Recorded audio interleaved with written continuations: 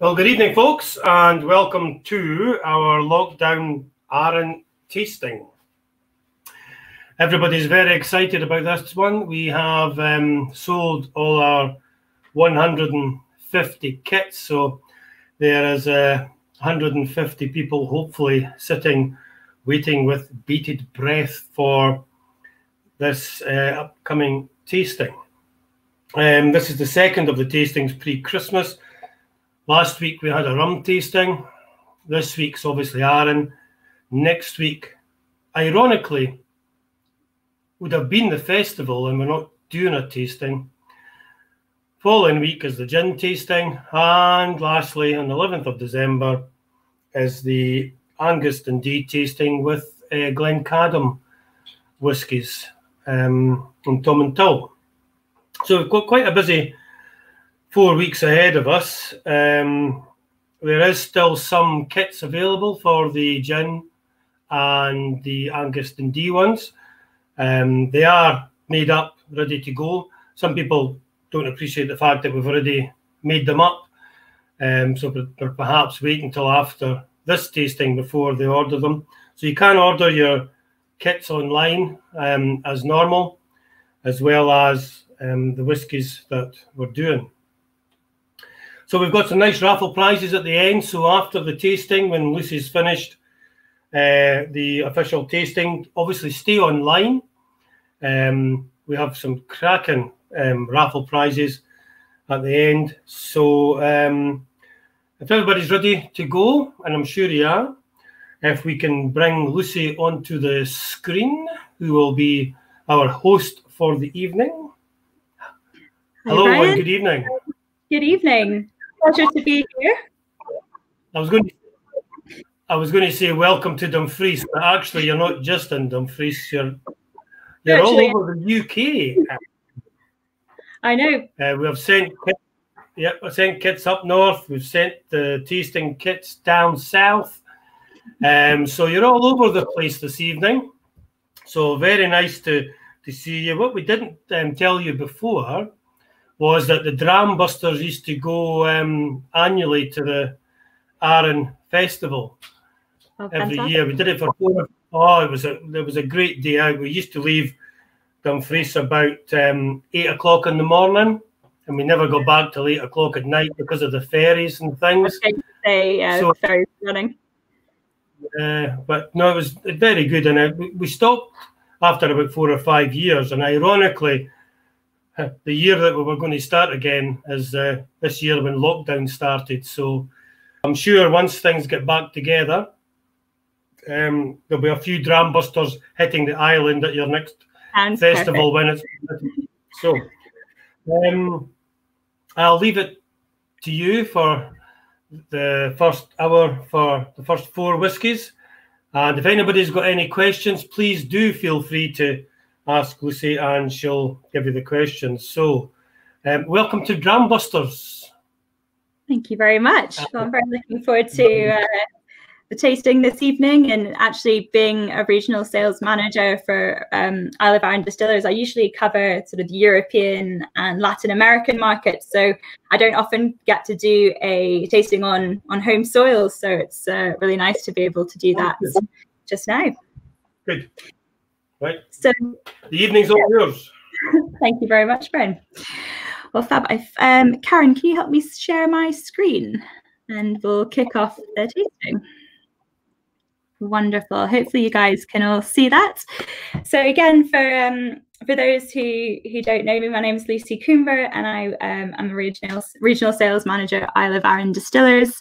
Uh, thank you very much for joining us this Friday evening. What better way to raise the spirits, literally and figuratively, than uh, a whiskey tasting on a Friday night, especially uh, in the current uh, global climate?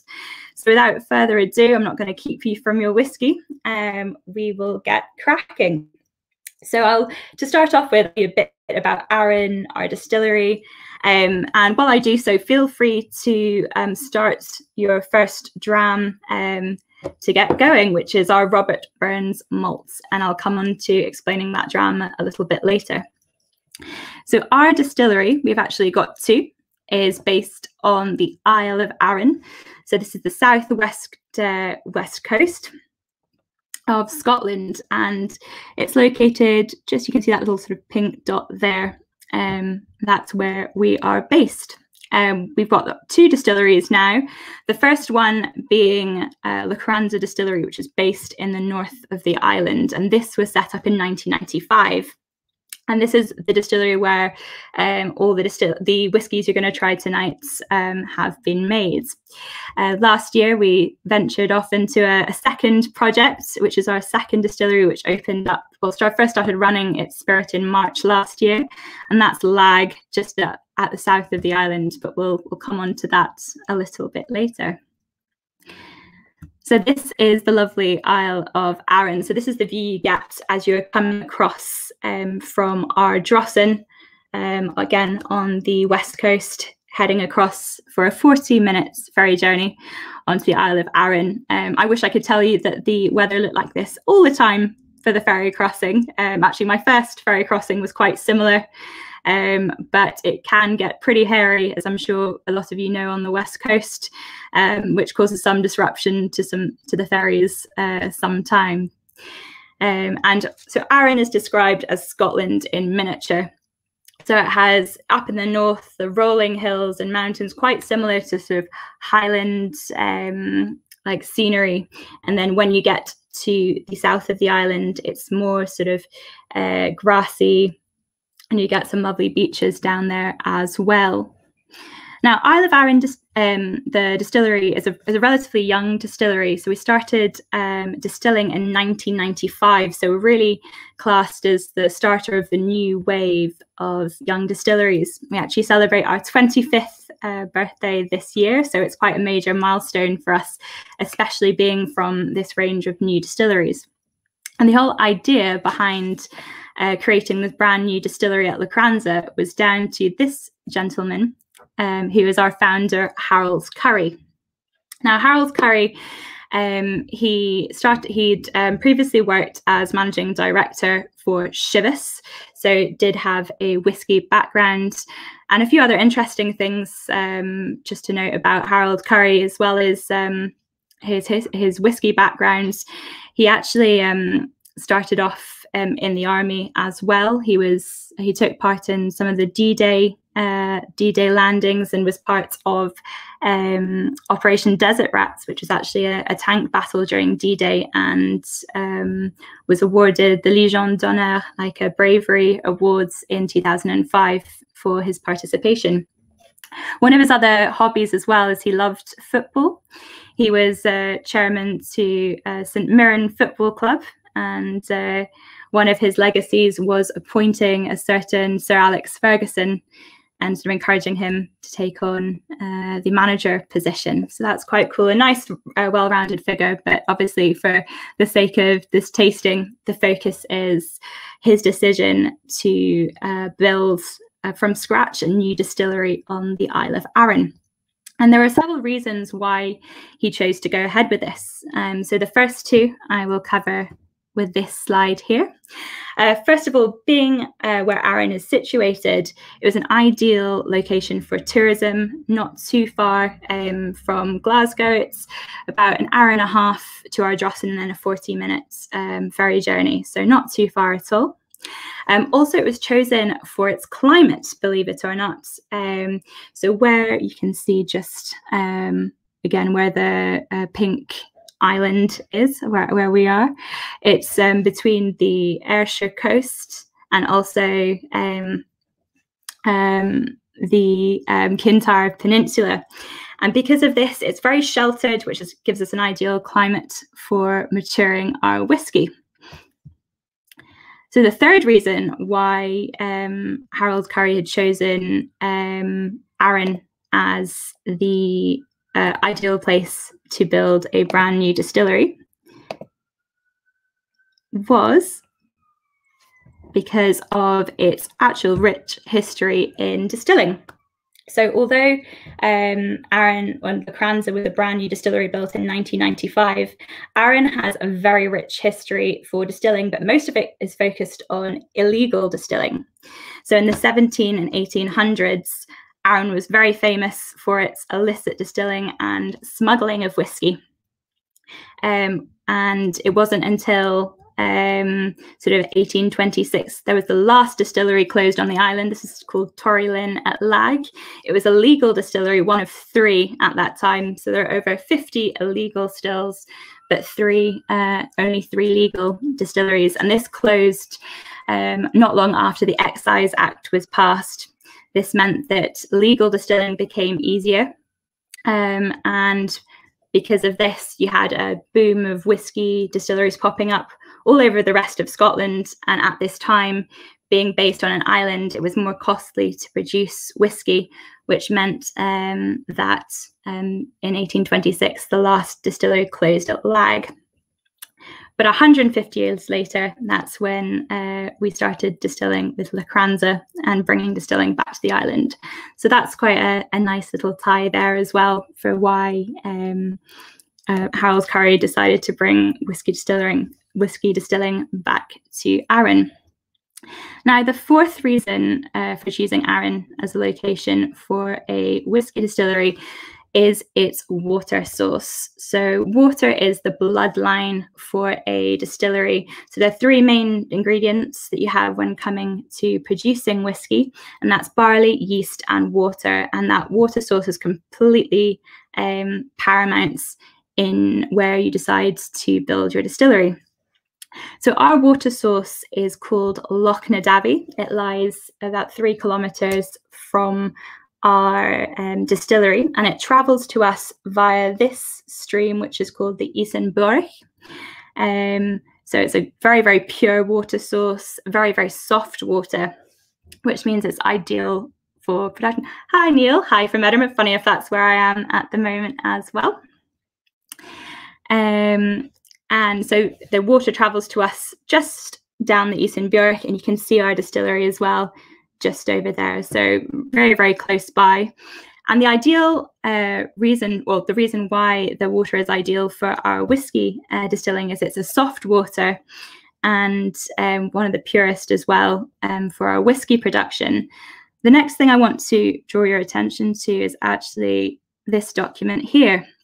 So when it came to, act, to locating the water source in Lochranza for our whiskey distilling, we obviously had to, to do a water analysis. And you can see from this document from Tatlock and Thomson. I want to just draw your attention to a few few points here. So with soft water, what you're looking for is this bit here. Hopefully it's coming up okay and you, it's readable on your screen. So this is sort of like the calcium carbonate sides of uh, the water. If it's a hard water, which some other distilleries use, like Highland Park, you'll kind of you'll that level of calcium carbonate will be between 40 and um, 8 or 80 and 200. Soft water usually comes between 40 and 100. And considering we're 10, it shows it's a very, very soft water. Why is this important for um, a water source? Well, one of the main um, benefits of having a soft water at is it kind of leads to less calcium buildup in our machinery. So it means that we don't have to do as uh, much maintenance and we don't have to treat the water as much before using it. We actually use this water in every stage pretty much of our pr process. Um, so not having to treat it is, um, you know, saves us a lot of time and um, effort there. Another reason why uh, the source is really good for us to use from Loch na Davie is the pH. So it's fairly neutral pH at 6.1. If um, the water source is slightly more acidic, this will um, sort of kill off some of the enzymes needed for converting starch to sugar um, later on in the production process. So you obviously want to, to have these uh, enzymes there. And then anything more alkaline, so seven plus, um, the enzymes start to lag a little bit and aren't as effective. So just a few interesting uh, um, points there why we decided to build a distillery and why that water source is is very important when it comes to it. Actually, you'll notice as well with our new bottles, you can see a kind of water effect on the neck. And we celebrate that water source as it is so important for our distillery. And we also have, I don't know if you can see it on that camera there, but Loch na Davie is also etched on the back of the bottle there.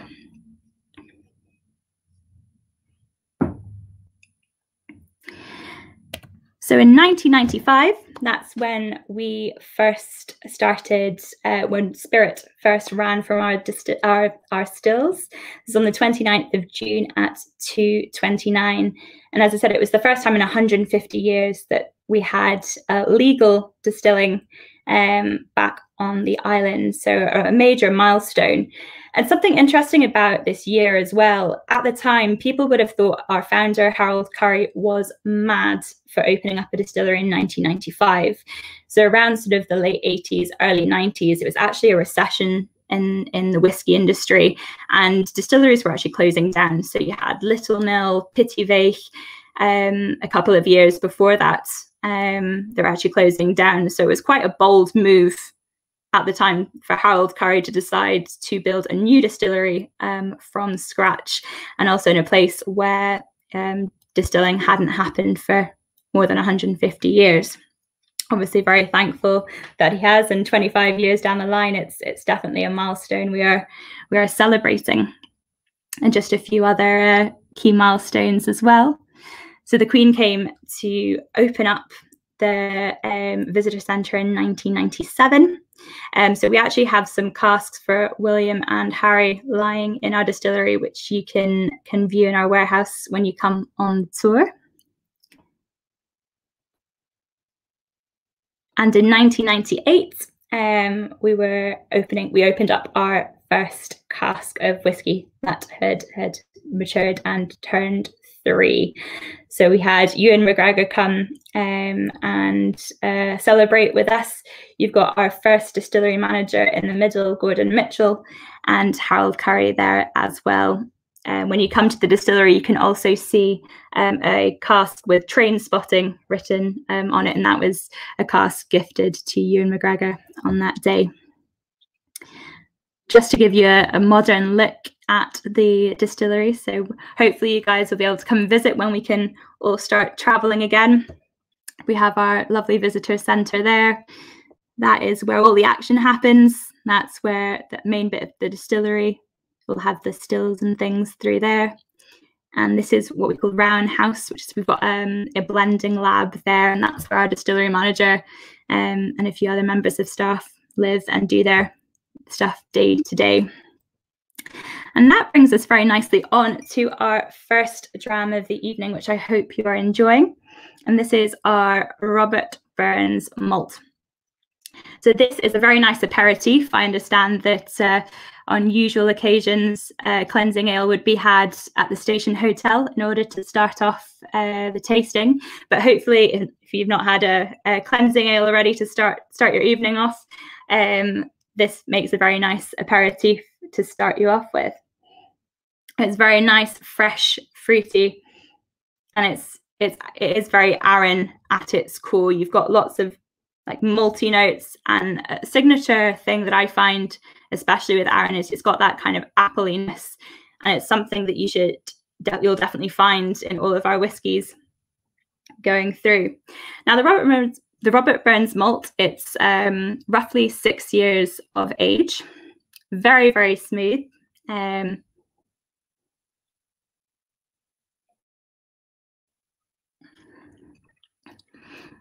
but does have a very, very nice lingering mouthfeel, um, even though it's only six years old.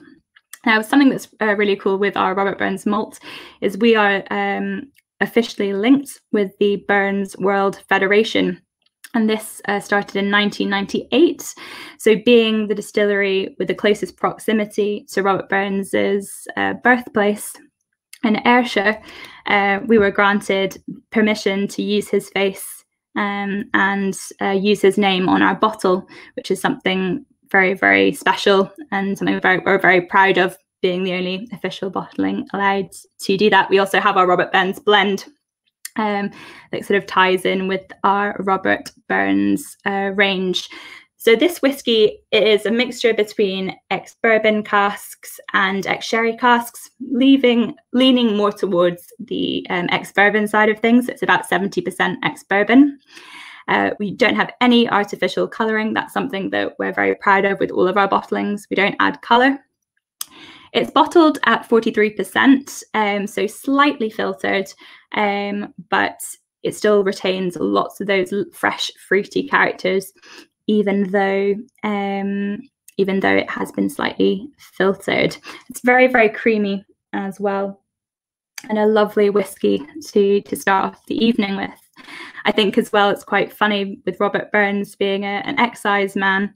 Um, he would have probably been responsible for uh, chasing down those uh, illicit distillers who would have been um, across the water from him uh, on Arran at the time.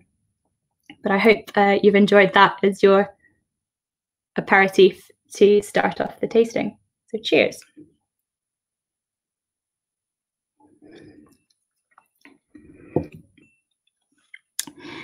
And that brings us on to our second dram of the evening. And this takes us to our core range. So you can see a picture of the bottle.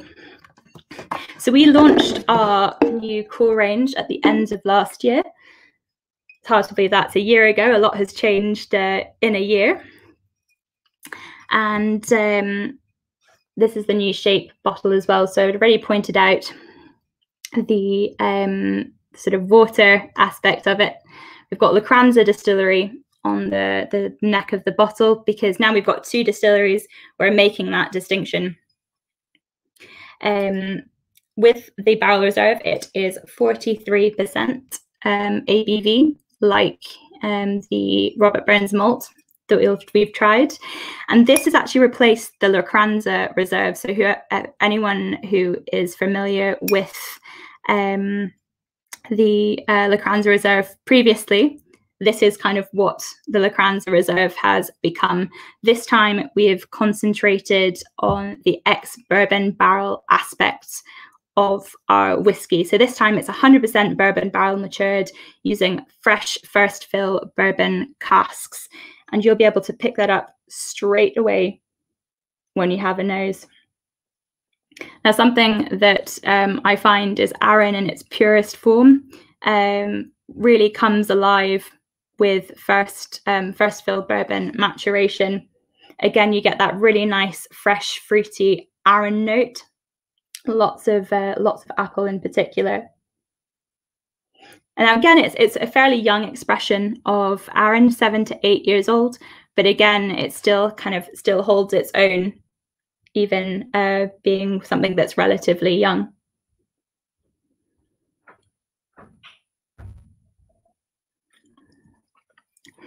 So there's got lots of vanilla and coconut as well. So being matured in, and first fill bourbon hogsheads, those are the kind of characters characteristics you are going to get thanks to the American oak um, that's been used to mature the whiskey in. So at Arran, we use the majority of the casks that we we have in our warehouse are um, ex bourbon barrels. It's probably ranges between seventy to eighty percent. Um, so the around if you compare that to the like global whiskey industry, about 90% of whiskey casks used will be ex bourbon barrels. And there are a few reasons for this. Uh, first of all, there is a much more steady supply, say, if in comparison to um, ex sherry casks. Um, and this is because when where we get the ex bourbon barrels from is the US. And in the US, they can only use uh, the bourbon casks once. So they use virgin oak casks over in the States. They fill it once for their use. And then the casks can come to us in Scotland um, or and other places in the world for filling to mature whiskey. And this is because just after Prohibition, um, the American Union of Coopers basically wanted to make sure, definitely a breakfast whiskey. I agree with you there, Brian. Um, so the Union of Coopers basically wanted to make sure they'd safeguarded uh, jobs for not only the Coopers themselves, but also um, the places where they were getting the wood from for making the casks. They wanted to safeguard those jobs, and for that reason, um, they passed a law where these casks could only be used once, which is great for us, which means there's a nice steady flow of bourbon barrels heading our way for some whiskey maturation. Now, the, the oak used is something called white oak, Quercus alba, or American oak.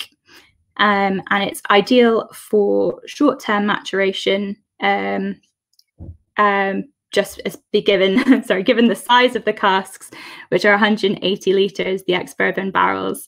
Um, it's ideal for short term maturation because there's much more uh, liquid to wood uh, ratio. The ratio is bigger for liquid to wood which means um, this gives you a slightly quicker um, maturation. And these also really bring to the fore these um, lovely flavors of vanilla honey coconut which again complements uh, the Arran style very, very well.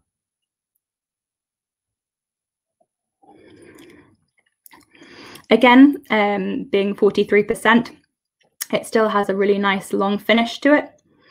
So if, interestingly, the Lochranza Reserve was actually designed as a, a, whiskey for the supermarkets, which is why we've uh, brought down the ABV slightly. But I hope you're enjoying it all at home.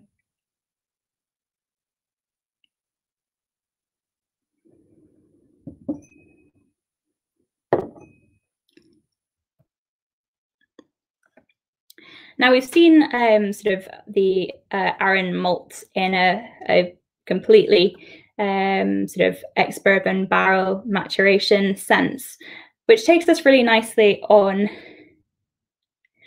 Now, I'd heard something like that as well, just seen Bob Watson's question about the Americans repealed the one use law.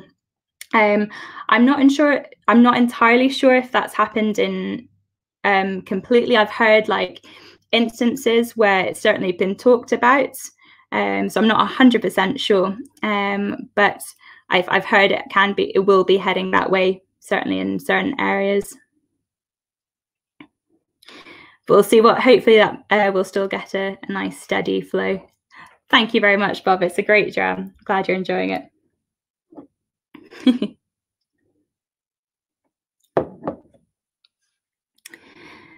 now we've seen, as I said, we've seen the um, Arran whiskey character, Arran spirit character with 100% bourbon uh, influence. I'd like to sort of draw your attention to the third whiskey that you've got in your tasting packs, which is our Arran 10 year old. Now, this time, um, like the Robert Burns malt that we tried at the beginning, it's a mixture of ex bourbon and ex sherry casks. And this um, plays with the Arran character again in a slightly different way. Now, with our Arran 10, um, my colleague Andy Bell considers this a back bar staple, and I 100% agree with him. It's one that's uh, certainly a must have for the whiskey cabinet.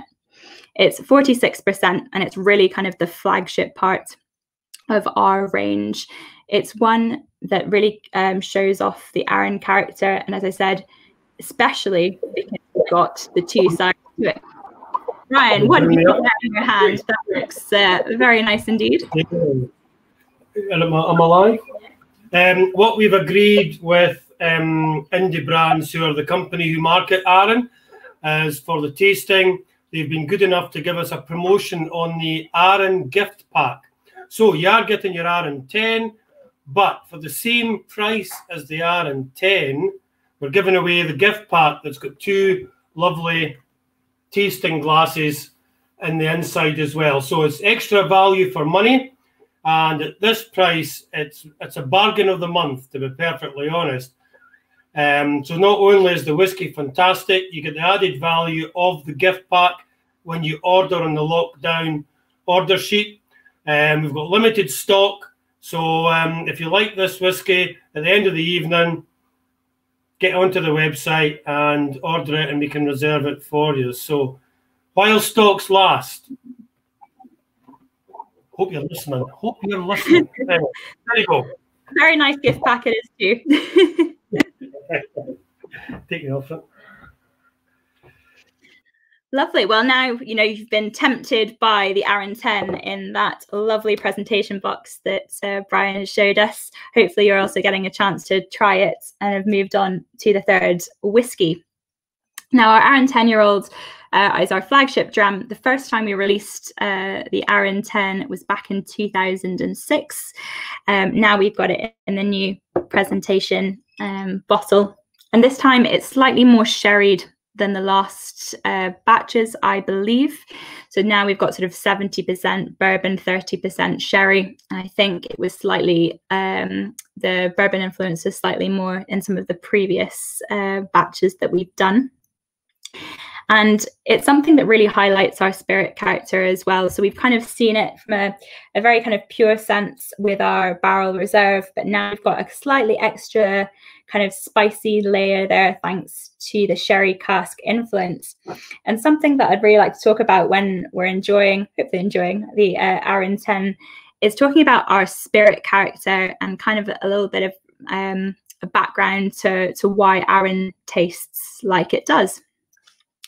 And this whole development of the Arran spirit character, that really nice, fresh, fruity, apple, malty uh, character, is down to a man called Gordon Mitchell, which is this man on the. Thank you very much, Brian um, a guy called Gordon Mitchell. And this is our first uh, distillery manager. And obviously, setting up a distillery from scratch, he had um, the job to craft um, so the Arran identity, the Arran spirit, and that Arran stamp. And seeing how his legacy has developed over 25 years is absolutely magical because you know that Arran stamp's there and you can see it in um, every sort of Arran bottle you have. And that's something I love about the Arran range. I really like this this Arran 10. I like. I mean, I'm a, a bit of a sucker for a, a sherried whiskey, but uh, it's it's nice to have kind of a bit more of the sherry influence as well. they tend to do that. Mine tend to do that too. Seeing Eric saying his uh, bottles tend to uh, evaporate, mine do at quite a, a speedy rate as well. Um, so talking about like the Arran Spirit character and uh, Gordon Mitchell's uh, influence, there are a few things and, and, little tweaks he's done during production, which kind of really bring out um, that nice sort of fresh, fruity um, um, character that's that, that's very known for Arran. Thank you very much. Uh, that the uh, the new style bottle has been very very well received since uh, we've redesigned, and it's kind of really um, spruced up some of our branding as well. So there are a couple of main reasons why we get this, this fresh fruity character when it comes to our Arran spirits. And it's down to little little sort of tweaks here and there that we do in our production that give us our individual character. Each distillery will do this. Um, and the first thing is down to our fermentation. So this is a little just a uh, to start you off, a little snapshot from our distillery. So when you go up the stairs and pass our mill, um, you look straight into our distillery. It's all open plan and it's all in one room. So it's it's quite nice to see, and you get that total effect there. So on the right, we've got our uh, mash tun. And then to the left, you see where we have our washbacks, where all the fermentation happens. And these, we have six washbacks in total made from Oregon pine. So we've gone for a more traditional style. And it's in this uh, part of the process where we start to really tease out some of those fresh, fruity characters. And this is because we've got a slightly longer maturation. So, our maturation, uh, uh sorry, not maturation, our fermentation um, period lasts between 52 and like 110 hours, which for the whiskey industry is, is quite long. And when uh, the fermentation lasts a bit longer, this starts to kind of build up some of those flavor compounds that we look for, and the esters start to form, and you get some of those fresh, fruity um, characters building um, during the fermentation stage, where we make what's similar to a beer, like a strong beer, before we take that to the next stage, which is the distillation. So it's during this part that we start to kind of tease out some of those flavors, which is very important. And the next stage takes us to another key um, key part of our process. Thank you, Alan. Um, another key part of our process that starts to, to kind of bring that really light character to our spirits. And um, this is a little snapshot from sort of our uh, two stills as they were Um, but in 2017, we actually doubled production uh, and added two more stills. So when you come and uh, visit us, hopefully when you next can, um, this is what you'll see when you enter um, sort of the working part of the distillery and see the stills. Now, the first thing you'll notice is the shape. Now, to, in order to kind of um, encourage a, a, much lighter spirit, you want a lyne arm that is either ascending or horizontal. So you can kind of see that ours are slightly ascending, but pretty much almost horizontal. And why this is important for creating a lighter spirit is basically when we start to heat up um, that wash that we've we've created in the fermentation, that strong beer, um, it when you boil it, the, the vapor has to work much harder to escape out of the lyne arm. And this encourages something called reflux.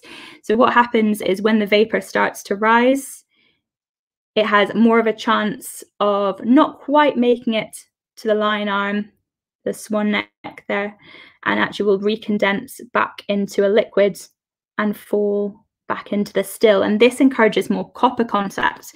Now, this is something that we want to encourage as much, much as possible because this strips off the sort of like heavier, meatier um, characters that you'll get with a spirit.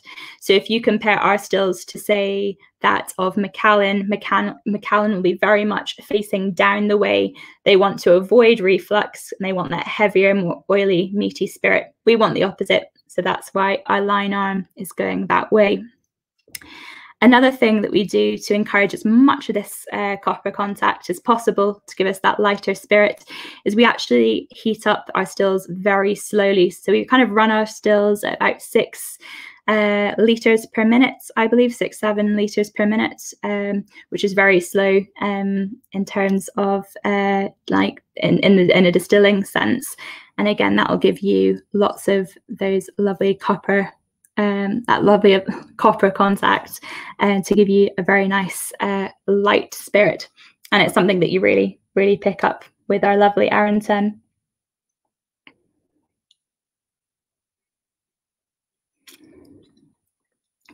And it always comes together very nicely again with that sort of dual maturation of using the bourbon casks, but also the the sherry casks there. Love that kind of spiciness just at the end as well. Very faint, but it's um, it's lovely.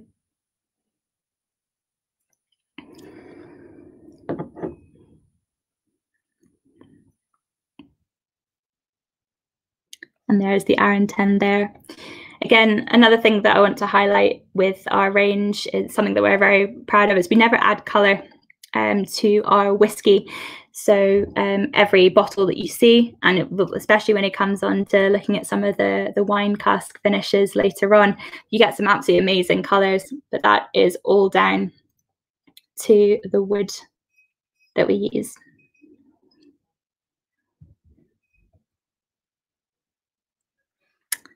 Fantastic. I hope we're all getting warmed up with these lovely three drams, but we're going to kick it up a notch with the fourth one on show. And this is our quarter cask, or also known as the Bothy. So we've seen Arran uh, previously uh, with our second dram from a very much uh, American oak bourbon barrel focus. So this is kind of taking the same sort of theme, uh, but this time we have done a couple of things differently. First of all, we've uh, kicked it up to cask strength at 56.2%. So as we are sort of approaching the end of November when it's starting to get a bit chillier, what better way than to warm yourself up with a cask strength whiskey. Now, I love the cask strength part of the range as well. Uh, before working for Arran, I worked for an independent bottler where pretty much all of the whiskies were cask strength. And it's it's nice to see a car a, a strength whiskey because you kind of see it at a very kind of raw form. And again you get lots of flavors and characters from that. Um, if you do have some water to hand please do feel free to add it to a cask strength whiskey if you'd like um, obviously depending on how you take your whiskey. Now this time, uh, the casks have, have had a dual maturation.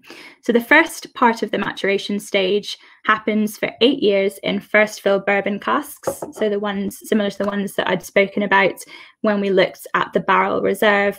These are first fill, so nice and sort of punchy and, and fresh casks. And then after that, we do something that adds an extra layer of spice and kind of complexity to that whiskey as we put it in a different type of cask. This happens for two years and it's called a quarter cask, which is the nice link uh, between the name there. So a quarter cask is a 125 litre cask, so much smaller. And when we put the whiskey in the second cask, it gives you a second maturation, but a quicker maturation. Again, there's more contact there with the liquid and the woods, which gives you really nice sort of spicy almost like tropical fruit layers um, on top of that. On the nose in particular, you get sort of that fresh woody woody note, which I think is absolutely lovely. Again, a bit of fruitiness there. And when you sip it, it kind of is a massive burst of fruit again. But this time, instead of having kind of, as well as having your apple, like classic Arran character, I do feel it almost kind of edges towards a tropical note. So you've got a bit of banana and a bit of pineapple. That's the those are the the kind of flavors that I associate with our quarter cask. And again, it sort of adds that extra extra layer, extra dimension to the whiskey. This again is non-chill filtered and natural color. And again, that sort of 56.2% ABV gives a nice sort of spiciness, but it's also not too overpowering as well. Very sugary, the burst of flavor, and it's. It, I don't know if anyone has uh, any of their uh, barrel reserve left in their glass, um, but it's quite an interesting one to compare it, um, given that sort of bourbon character of um, urban sort of style Arran character, but this kind of with the, that kind of next dimension of obviously being the cask strength, but also the intense second maturation in the 125 litre quarter cask. And a few other sort of um, bits I always like to talk about when we talk about the bothy or quarter cask. So you notice it's got like a second part to the name. And there are some reasons behind this. So I don't know if um, some of you might be familiar with our old style bottles if we look at the bothy uh, quarter cask, this was so the this is our new quarter cask now, and the old style bottle is the one that you can see just in the sort of left hand side of the screen there. And the bothy was named after this cottage called Laggan Cottage, which is actually found on the Isle of Arran. Um, myself, Mariella, and my colleague Andy decided to walk there once from Lochranza. Took uh, two and a half hours of uh, braving the bracken and uh, a decent uh, trek to this little secluded cottage. I also got sunburnt at the time, believe it or not. So I love uh, throwing that story in when I go abroad and say, well, see, you do get sun in Scotland. Uh, you can get sunburnt. It's happened to me. Um, but after this two and a half hour trek, uh, trek, we found Laggan Cottage, and it was quite cool having the bottle there and seeing that image of uh, that bothy um, on the bottle, but also having the bothy there in front of you.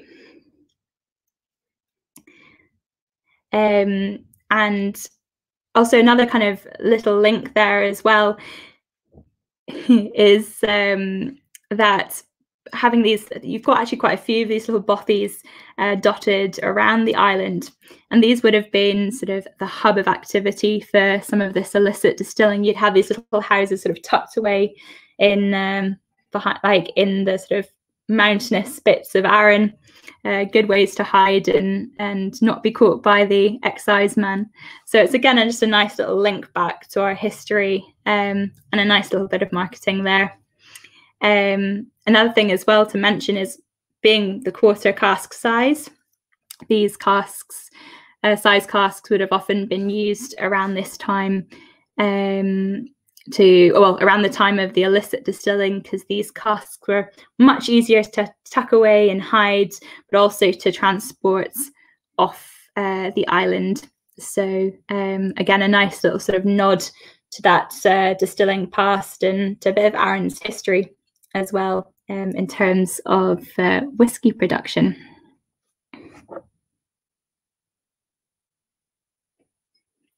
Um, another thing as well, so we've got this um, Arran uh, sort of like the Laggan cottage that you can see on the bottle.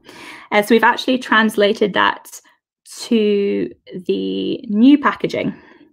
So if you can, it's slightly watermarked. I think it's mainly on the, actually the outer case of the uh, quarter cask bottle. I wonder if you can see it. If I go back to the previous slide. This little mark you'll find on the outer casing of our uh, bothy as well, because we wanted to kind of incorporate that to the new packaging. Um, but we're mainly focusing on the kind of quarter cask element this time around, as we felt like this really kind of encapsulated what the product was about with that second maturation. Um, but it's a nice little sort of, again, a nod to uh, that place on Arran, the Laggan cottage, um, that is sort of part of the kind of the heritage behind the the bottle itself.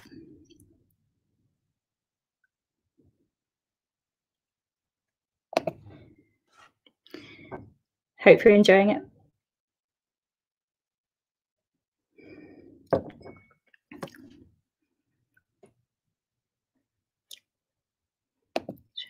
This. Does anybody have any questions at all? Um, I understand that we are gearing up for some cheese and biscuits as we come to our our break. I can put me back on at the moment. Yeah, that was very, very interesting. Uh, very good, excellent whiskies, I have to say. Um, the reason that we've put up uh, the Arran gift pack is that somebody's ordered the Arran 10, but you mm-hmm. went the, they went onto the website and ordered Arran 10. Mm-hmm. So instead of getting the gift pack, um, they've ordered the ordinary one. So we can, for the person who's done that, or the couple of people who have done that, we can sort that out um, when you come and pick your whiskey up. So for those of you who do want to order the gift pack, please go down to lockdown and you'll get the, the gift pack added. Um, into the search, log down into the search bar, you'll get that um, at the special price. Lucy was talking about the old style bottles, and um, we've all seen the new style. So this is just a tease of one of the raffle prizes. And I think it's, I would say it's now a collector's item. This is the old style bottle cask finish. Um, this is Côte Rôtie cask, cask finish, which is from the Rhone Valley in France. And this is the last bottle that we have. And this is going into the raffle. A very nice bottle it is too. It is. It's very nice to drink.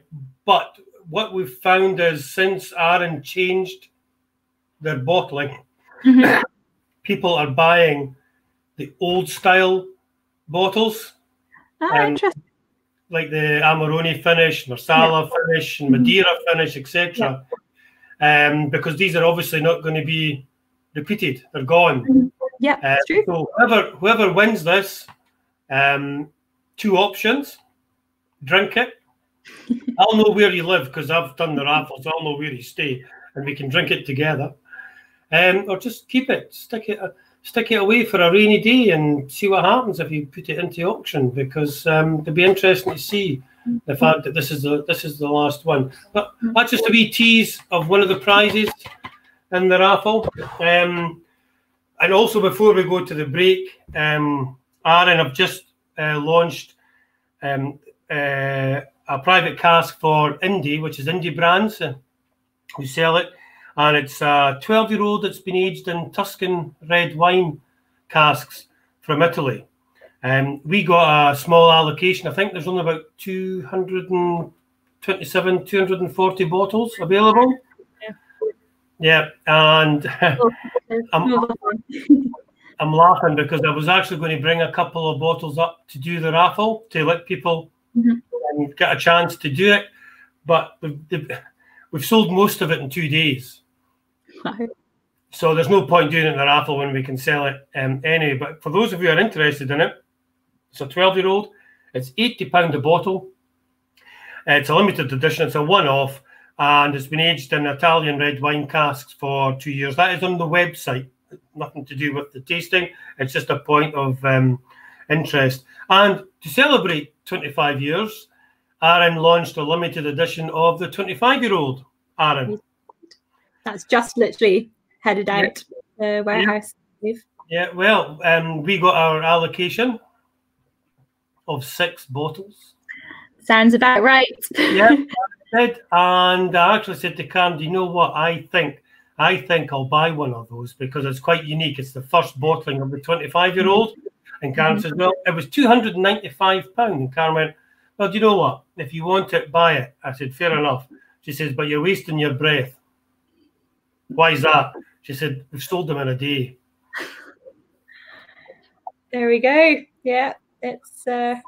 There you go. Huh?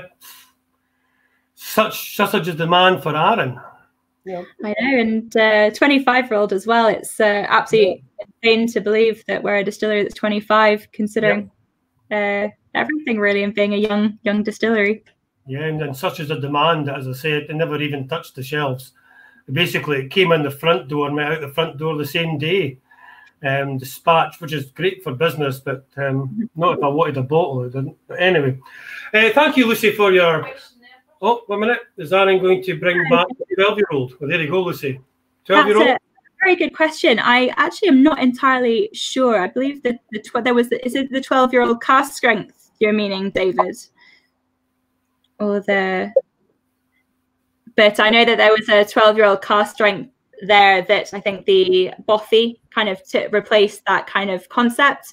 But I'm not entirely sure about any other plans for sort of the 12 year old as part of the core range yet. But who knows? It might be uh, something entered in a little bit further down the line. So watch this I think, I think the problem with that is if you if you do do a 12 year old, there's less stock available for your 18. Mm-hmm. Could well be. You're taking tasks away for the future. Um, yeah. Uh, anyway, uh, thank you for that. We'll have no we'll problem. Have, we'll have a 20 minute break, folks. Cheese and biscuits, or a cigarette break, a drink break.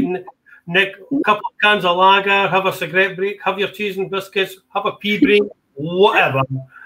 Uh, and we'll see in about 20 minutes so we can uh, chill out for 20 minutes. We'll see you shortly, Lucy. Yeah, see you shortly. Yep, thank you very much. Cheers, folks.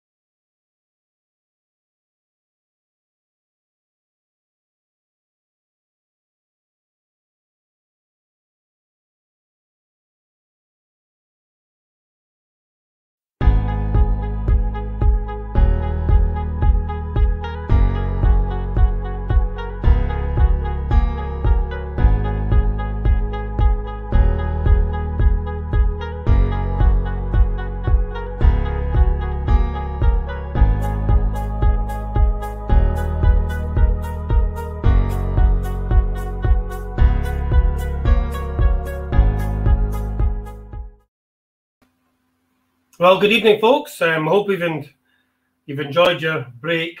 Um, before we get Lucy on, we're just going to have a bit of fun. I think we're going to do, we were talking about this whiskey. Um, and I think we're just going to do the raffle for this one at the moment. Okay, so before Lucy starts the second half, just for a bit of fun, a bit of excitement, um, Karen will draw out a number. We'll put your comment so they can see. Oh, no. There you go. Hi. So here we go, folks. Right, so I'll draw it. We have a ticket. We have a ticket. Okay. For this whiskey here,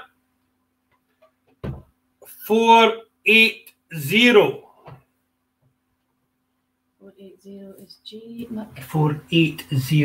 Let's see what that says. there. G Mc. J McNabb. 480 J McNabb. Well done. That's the first one done. We'll just lay that aside. And we'll put 480 against that one. So, anyway, that, Give me a that's Let's leave that now. Okay. Um, so, um, I hope you've enjoyed your break. That was four very interesting uh, drams, very nice drams, and a nice uh, history about Arran. And I'm sure when things get back together, you bring this here. when things get back together, we will certainly be visiting Arran, without a doubt. Yes. Um, and the other the other thing is that uh, just when I'm on, a lot of people are saying if we ever get back to normal, um, will we still be doing the um, tastings we're doing at the moment online? The answer is yes. I. Some people prefer the tastings online; they don't have to travel too far. Um, so if it it will probably come to the fact if we do a tasting, it will be at the station hotel as normal. Following week, it will be at the Traquair Arms as normal with a smaller group. People like the social aspect of whiskey tastings and joining together and sitting with friends and having a yacht and catching up with times and putting the world to rights. Um, and yes, if that means it's a third Friday and we have to do a online tasting when, well, so be it. That's the way it goes. I've got the best job in the world. Not a bad job at all, Brian. Can you imagine three nights with one teaspoon. Yeah. Fantastic. anyway, Lucy, I hope you're fully charged, ready to go for the second half. Definitely. Yes, stage is all yours. Brilliant. Thank you very much. Uh, Karen, can I get you to help me share my screen once again? That would be brilliant.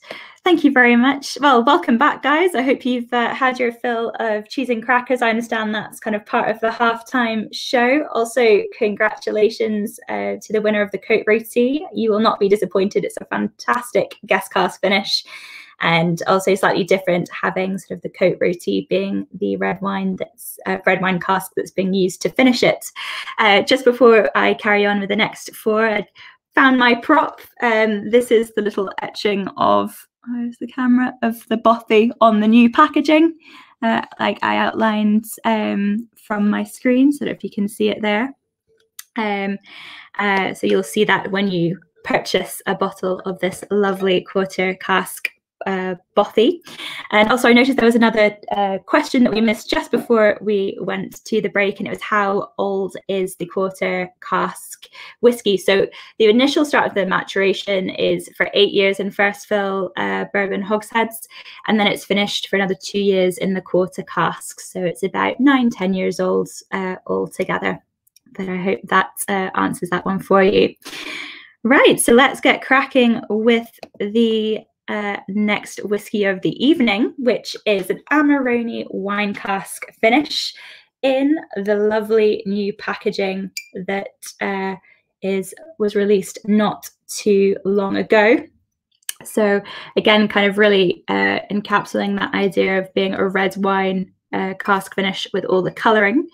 Uh, something that I um, hadn't mentioned as well before about our new bottles is we've also got with our new packaging, you'll notice on the label, if I can bring it up a bit to the camera, is we've actually got Braille on our new range, which is a, nice new addition. I believe we're the, only whiskey distillery to, to do that. I bring it up to the screen just there, uh, which is a really cool little detail as well that we've added to our, our new packaging. It's something to, to look out for when you when you buy our bottles. Now, taking us on to a, a, another part of our range is our wine cask finishes. So part of our, our sort of core three that we have are Amarone, our port, and also our Sauterne. Um, but we're going to kick off with the Amarone wine cask, and also very nicely paired as well after cheese. I can imagine you often have that sort of wine uh, cheese pairing. Now, interestingly, with our wine cask finishes from the very early stages of uh, the products we released, um, we had actually released a succession in the very early days of Arran of wine cask finishes. Every time I go to a whiskey fair um, um, all over the world, someone always says, "Oh, I've I've come across a champagne finish or a Margaux finish from the very early days of Arran." So around this time, um, the time that sort of Gordon Mitchell would have been our distillery manager, because we were a young distillery and sort of slowly building up capital, it was a case of kind of filling whatever sort of cask you could get your your hands on almost. And because of that, there was a lot of experimentation in the early days with these lovely wine cask finishes. And now we've kind of brought them together as those three that you'll find um, as part of the Arran range nowadays. And that brings us on to our lovely Amarone. Now, the first uh, thing you'll notice right away is that beautiful color. Um, something that's really become a part of like our like core value, if you'd like, is the importance of our wood policy, and that's something that uh, um, our current um, master distiller, James McTaggart, brought to the table when he joined the company um, back in 2007. And it's really kind of enforcing the idea behind the importance of having really good quality casks to fill um, your spirit with. And the first thing is being um, a, company that do not add color to our whiskey we get 100% of that color from the woods and you can see right away it's had an amazing effect on uh, the Amarone cask finish in particular. And also with the woods, um, you're going to get roughly 70 to 80% of the flavor from the wood as well. So having that really um, strict and and um, strict cask policy as, as part of your ethos is is very important because it's going to bring those lovely flavors um, to kind of mingle with your spirit character. So the whiskey we're drinking is our Amarone cask finish, and it is at four, uh, 50% uh, ABV. Now, this was um, a um, choice done by James McTaggart. He chose to do a 50% AP, ABV because it, he felt like it really kind of added the balance between the um, sort of spirit character of Arran and also the character of the wine cask, which is, is quite bold in itself. So you'll notice on the nose it's, still fresh and fruity, but it's almost got that uh, sort of layer of those red fruits like cherries. And that's kind of that little sort of emphasis from the wine coming through. Again, mirrored on the um, on the palate. You get slight slight hints of chocolate as well.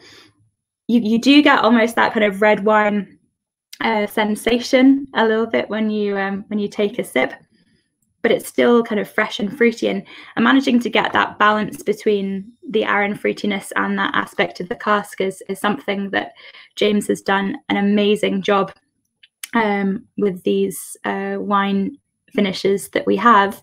If I let you into a little secret before I actually joined Arran, I wouldn't have usually said I was a, a wine finished whiskey fan because it's such um, often you'll find it's such a punchy powerful cask that it will really like mask the spirit character but James has managed, James McTaggart, our um, master distiller, has really managed to kind of get the perfect balance between the two, where you've still got that Arran identity there, even um, which holds up very well against that red wine cask. And also keeping the ABV at 50% has really um, helped there too. Again, with um, the importance of having very good quality casks is also to have a very um, good quality source. So with our Amarone finish, we're really lucky to use uh, to work with a producer called Allegrini. Um, so it's a producer of Amarone um, red wine from northern Italy and Veneto. And they're a family uh, run company that have been producing wine since the 16th century.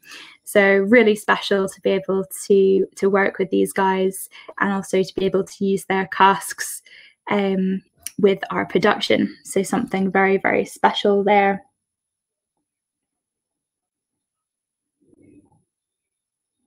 An absolute delicious, delicious dram and it's it's one that also lingers if you if you wait a little bit it's still got it still like holds its itself in on the palate when you when you drink it and it's interesting to see so we've we've already seen kind of the effect that gordon mitchell has had in, in sort of crafting the Arran identity and it's something that james has really brought to the table being able to kind of add that sort of next step in sort of the growth of Arran and, and our distilling um, to kind of really enforce this idea between um, of wood policy. And here is James here. You might have sort of come across him before. This is James McTaggart. And he joined us from Bowmore in, in 2007 and holds over 40 years of, of whiskey distilling experience. So it's been absolutely fantastic. Um, obviously, seeing what he's brought to the product. How long is the, the finishing period? That's a very good question. So, in terms of the maturation, we start off by maturing the whiskey for six years in hogsheads, which are 250 litre casks. Um, and then after this six year period, We'll put it in um, the wine cask for between sort of 12 to 18 months or thereabouts. So again, it's just it's getting that kind of right element of time in in the wine cask, so you're not overshadowing um, sort of initial spirit character, and also being a very light spirit character, um, or the the spirit character being very light that we have. Um, it actually works very well with finishing, but again, kind of making sure you, you tweak it enough to get the right balance is, is so important. And yeah, these are some of the casks that we have in, in our warehouse. So we actually have a um, several different types of warehouses that we use on on Arran. So we've got dunnage, the more traditional style. As you can see, we also use palletized warehouse for some of the stock that we're going to kind of tuck away um, and keep maturing for a while. And then we also have uh, this style of racking. Um, we use um, we have two warehouses with this style. Um, some hold our private casks that we do. You can notice um, we've got the train spotting cask just uh, in that right corner. But this is also the type of uh, warehouse that we have where we hold our wine finishes as well. So the likes of our Amarone, our port, our Sauterne will be held in warehouse number six, um, which is where we, we have those uh, casks tucked away. But again, just an interesting way to, to combine both styles and also something that um, I forgot to mention at the beginning of uh, the tasting is we're really lucky to be an independent distillery.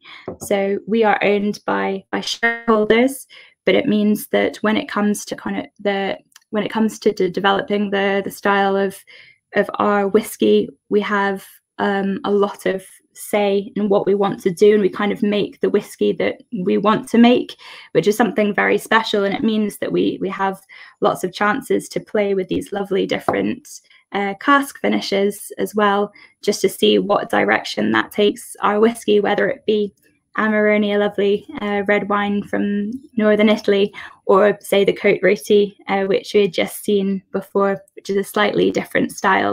And it's just interesting to see how that kind of plays with that Arran identity, even though that Arran identity is still there. And also, you would have seen in the video as well earlier, we've got a new member of, well, fairly new member of the team. A year seems to go very quickly, but we have our new distillery manager, David Livingston, who's also joined us from Islay. So he joined at the end of last year. And between himself and James, they have over 60 years of experience uh, being brought to the table, which is something pretty special. Uh, David Livingston also joins us from Islay, believe it or not. Um, and he um, was working for Ardnahoe before joining us. So it's great to have sort of this like mixture of, of experience and we're really looking forward to seeing what david brings to the table. We've seen this little sort of ladder of legacy um, we've seen with gordon mitchell and the spirit style uh, james with the wood policy. He's also brought a lot of modernization to the distillery. We didn't have a mill believe it or not until 2008 so we um, we don't actually malt our barley on site. So we use a company called Crisp on the east coast of Scotland. So we buy in our malt, uh, malted barley to use. But before we were also uh, buying our barley, before 2008, we were buying our barley pre-milled as well. So, um, so that wasn't until 2008. Um, and it's really just interesting to see how step by step um, each of our distillery managers have been adding uh, to our distillery and modernizing. So we'll see what happens in the next 25 years um, with the work that David is is putting in, um, along with um, everything else that's been happening the 25 years preceding that. I hope you're enjoying the Amarone, and I, I, wonder if you're sort of picking up those kind of wine notes as well. Nothing too overpowering, but it's it's certainly there. Um, for those um, people who don't know about wines or Italian wines, um, Amarone, as Lucy said, is from northern Italy, but it's a very powerful um, red wine. The alcohol basically is 14 to 16 point 5%. It's a full bodied um, Italian red wines. And what they do is that they lay the grapes out uh, in the sun so that they can dry out. That gives them a, a more concentrated flavour, increases the alcohol content. And Amarone is not basically a cheap wine. And I think that reflects in the cost of the casks because mm-hmm. if you get a a good Italian producer of Amarone, um, like anything else, the casks won't be um, cheap. Uh, the Amarones that we sell in the shop, I think we do three, maybe four. Um, the range between £25 and £50 a bottle. So that gives you an idea of the quality of the wine that was in the cask um, before um, the whiskey was put into it. So, aye, a good choice, a good choice. Amarone is, well, probably one, one of my favourite wines, one of the family's favourite wines. Unfortunately for me, it's one of the family's favourite wines. Um, but but that Lucy reflects in the colour and um, the finish of this wine. It's fantastic, absolutely. This this whiskey is just the bee's knees. No, it's certainly um, it's it's just amazing. Again, like once you leave it a little bit, just almost to have that kind of almost like the tannins that you'd get from the wine kind of lingering on the palate. It's just a, it's kind of a nice balance between the two. Yeah. Retain, retain that Arran Aye, well, great. So, yep, love that one. And again, kind of like taking on that idea of, of finishing, it us on to our second style, which is has also been uh, finished in a second in in a sim in a similar manner. So again, we've started off the maturation for six years in these hogsheads and these 250 litre casks. These would have been um, American oak hogsheads. Um, and then we put them this time for our, our next second whiskey, uh, or well, not, it's our uh, sixth whiskey technically, uh, which is our port cask finish, which again is the new in the new design. And this time, this label was chosen um, to actually reflect the concept behind a a ports bottle. You know, often they are black with right white writing on. So that kind of design was incorporated in the new packaging, both on the bottle and also on the tube itself. So it's quite quite interesting to see. Now, this time with the ports, um, we've used casks previously from uh, Graham's Ports, which is a um, Graham's Tawny Ports. Um, I think currently we also get um, casks from Speyside Cooperage as well, old port casks. We've also worked with these artisan producers before um, to kind of again play with that wine cask finish element, but uh, with a kind of port twist. Again, taking this, uh, the sort of using a port cask finish would also accompany the cheeses that you'll have just had very nicely, because uh, cheese and port is an epic com um, combination as well. So you've got the this double maturation once again. But again, it, it, also adds something different to what you will have tried with the Amarone cask you obviously get sort of those lovely like clove elements and almost those really like dark raisin fruits that you get with port.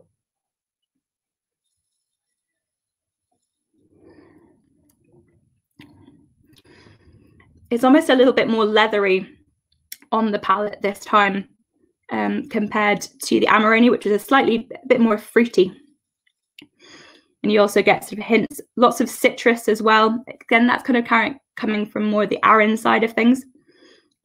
But again, it's just uh, playing with that Arran character, and this is actually my favourite out of the uh, the three uh, cask finishes that we have. I just think it kind of gets those that sort of flavour combination just just right.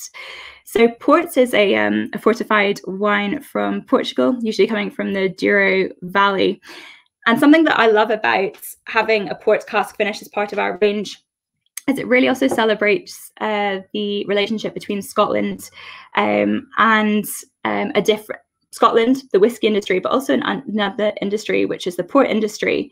So quite a lot of the uh, port producers, um, or at least their ancestors, had Scottish blood in them. So you've got Grahams, uh, you've got the Symingtons, you've got Cockburns. all these wonderful port producers producers have this Scottish heritage and and Scottish link to them. So I think that's a really nice way of kind of like tying it back in to whis- whiskey and whiskey production in Scotland, and it's it's a pretty cool cool link to have there. Once again, uh, the port cask has also had a great influence on the color of the whiskey, a really nice sort of dark hue to it, slightly reddish as well. But again, having those really good quality uh, port casks have have influenced the whiskey in that way, and also, of course, on um, on the palate as well of the whiskey. Now with port as well, it's it's it's a it's a product that I find very interesting, not only for the linkage with with Scotland, but uh, just how kind of that um, industry sort of developed in the trade. It really opened up the trades uh, with the UK and and Portugal as well. And what they will have done as well before taking the ports from Portugal, they will have often um, fortified it with brandy or other alcohol um, for the voyage time in order for it to get from Portugal to the UK. Just a little bit of history behind that port cask. it's really interesting comparing the two and, and that's the beauty of a tasting as well especially when you've got such a lovely um, and varied lineup is sometimes again you can go back to the previous whiskey you've tried but you will notice sort of comparing the two with the amarone and then the porter it does sort of take um, that style in, in, in different directions but it's definitely a bit more leathery um, and just again it's got a little bit more um, sort of depth, I think, to it than the Amarone. But that's that's given sort of the style of cask that uh, will have been used uh, for that secondary maturation. Again, kept at 50%. And again, James has done a fantastic job in order to not sort of overshadow one part from the other. It's a really nice uh, sort of mixture between the two.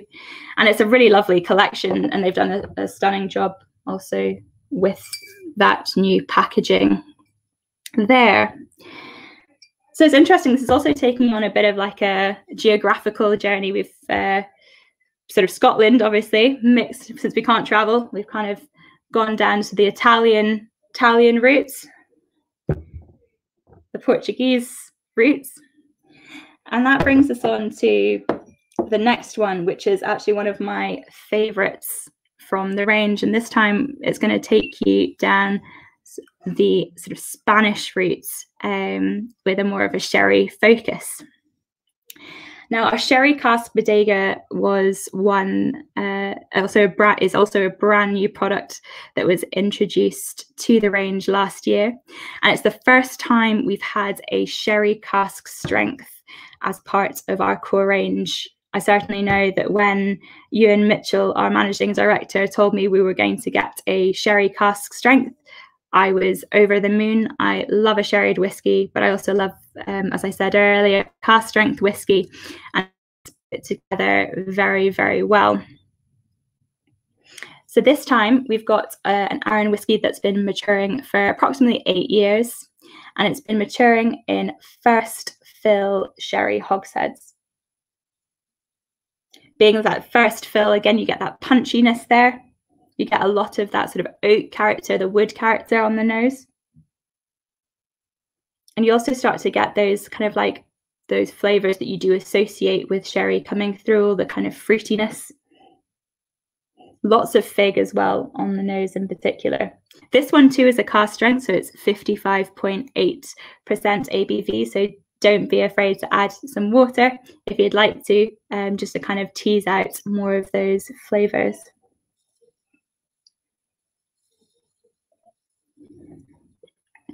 Also, the, as soon as you take a sip, you get that massive burst of flavour, very fruity. But again, at a whiskey at 55.8%, you don't necessarily get that bite that you would expect. And it just lingers very, very nicely on the palate. And so sherry is something that I'm I'm very interested in, and I think you know the the relationship between sherry casks and the sherry industry is, is something definitely worth um, exploring further. So I'm a big sherry fan as it is. Um, and it's interesting to see the kind of sherry casks that are used uh, when it comes to um, maturing your whiskey. So these uh, casks that were used for our sherry cask bodega our first fill sherry hogsheads, so 205, uh, 250 litre casks. And the casks that we would have used for these, the sherry casks, are something um, called pre-seasoned casks. Now, these were a, a, special sort of sherry cask developed kind of towards uh, the 1980s, early uh, 1990s. And the reason behind this was um, is as follows. So if you take some of our older stock, um, that's been maturing at Arran, so take our 25, our 18, our 21, would have used sherry casks um, at that time, but they would most likely be something called ex bodega casks. So these are casks that would have been used to mature sherry wines in Jerez in the south of Spain. But now, uh, but these casks became more rare after the Consejo Regulador, which is like the governing body of sherry wines, basically put a stop to um, sherry export in bulk, i.e., in the cask. And they put a stop to that um, at that time, which meant that distillers um, would have to go over to Spain to source the casks themselves. And after this, what happened was uh, a, a, different type of sherry cask. This pre-season cask was designed to basically help um, keep up the demand for these type of casks. So with these casks, they're made from these pre-season casks. They're made from new oak, Um, and they can either be made from Quercus alba, the white oak, that American oak uh, that we will have seen with ex bourbon barrels. So we would have seen this type of oak with the barrel reserve, the quarter cask, um, to give you those nice kind of like vanilla notes um, and coconut notes. This is actually the type of wood that traditional sherry casks would um, have been made from um, for maturing these sherry wines. Also, you can um, get these pre-season casks made from European oak, Quercus robur. Um, so this will give you a slightly different style when it comes to maturing your whiskey. Um, so this will give you kind of raisins, sultanas. Funny enough, more of those kind of flavors you'd probably associate uh, with sherry itself. Um, and having these two types of oak casks that you can use for maturing your whiskey um, means that it gives like the distiller lots of flexibility when it comes to maturing their whiskey. You can also use two types of, of size as well when it comes to ordering your um, pre-season cask. These often come in either 250 litre casks, these hogsheads that would have been used for maturing the sherry cask bodega, or you can have them at the traditional 500 litre um, size casks. Um, these are called sherry butts, and these are what uh, these are the type of casks that they would have shipped sherry over in the cask um, using these kind of casks uh, when this was allowed. And it's really interesting to kind of go back and see um, how long we've been kind of using these sherry casks for. We actually we don't know exactly when the first sherry cask was used in order to to mature whiskey. Um, but a guy called William Sanderson was recorded saying in 1986, um, basically talking. He this is a guy based in Leith. Um, he was a whiskey whiskey blender and a whiskey pioneer who actually does um, who actually came up with a product VAT 69 for anyone who is familiar with this he basically wrote about the virtues of, of using the sherry casks. So it was definitely, um, sorry, 18, 1860, uh, the 1860s, I'm, i was meaning. Um, so he was talking about using these type of casks back then. Um, and in the 1860s, um, we also had thing, uh, we also had grocers in Perth. These would have been um, sort of uh, whiskey gro- um, grocers and blenders. And what they would do is they would buy the sherry casks in, they would transport them to Perth, uh, they would bottle the sherry um, on site. So they'd sell on the sherry, they'd still have the cask. And then what they'd be able to do is they'd either be able to sell on the whiskey cask to distilleries or use these um, casks themselves for their whiskey blending purposes.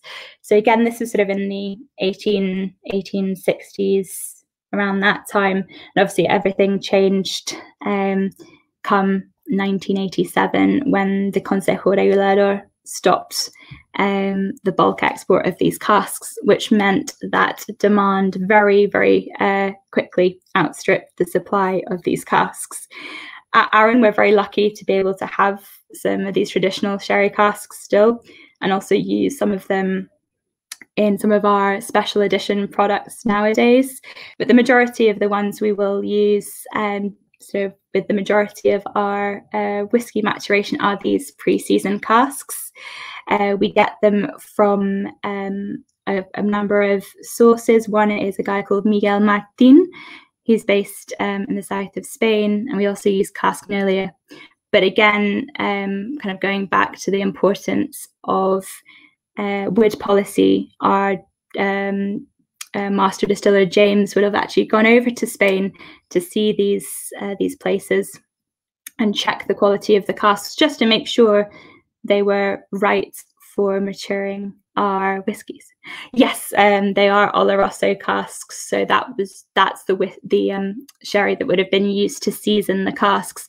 Usually, um, the casks are are seasoned. The ones we use are seasoned with this type of of sherry.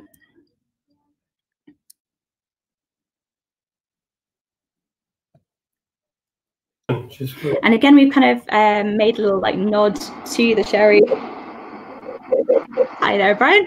Hello. Um, I just I just want to interrupt for one second. Yeah, no. Uh, comments that we've had about a few of the whiskies have been really good, um, especially uh, the, the the port one and this one, the sherry. Now, for those people who are um, going to place an order, remember we sent out 150 kits, so I'm hopefully speaking to 150 people at the moment. Um, very difficult to get the stock balance right of what people um, will expect to order or what want to order. If there's any whiskies that you order um, online and it comes out that we've none in stock, then just send us an email to say, look, really sorry, I've missed the boat. Um, I would, I would like to order a. When you get it back in, I would like to order a, a sherry um, cask. Then that allows me to order next month. So because we're doing eight whiskies, as I said, it's very difficult to get the balance right. And I've got a funny feeling that, um, but with the comments that we're having with this particular whiskey, we might end up out of stock uh, with people ordering tonight or tomorrow morning. So don't be disappointed if you order and it comes up zero out of stock. Send us another email to just say, let me know when it's back in stock, and you'll obviously get it at this um, special price. And that goes for all the whiskies that we're doing. Um, very difficult to get a balance right between eight whiskies, what's going to sell, what's not going to sell. Um, so bear with us. Um, if it's out of stock, let us know that you're interested. And when it comes back in, we'll let you know. Definitely, we'll let you know.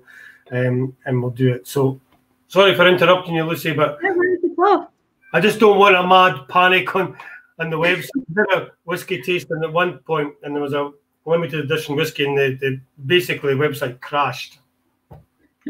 Um, so we didn't have to panic about anything. All whiskies will come back in stock at the agreed price. So, uh, so back to you, back to you, Lucy.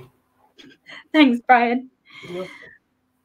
Uh, yeah, so I hope you're um, enjoying uh, this one here. It's certainly been popular since its launch, um, but it's also a little comment as well about about the name. So Bodega is uh, the warehouses where they they keep um, these sherry casks and mature them. So you can see that on the right.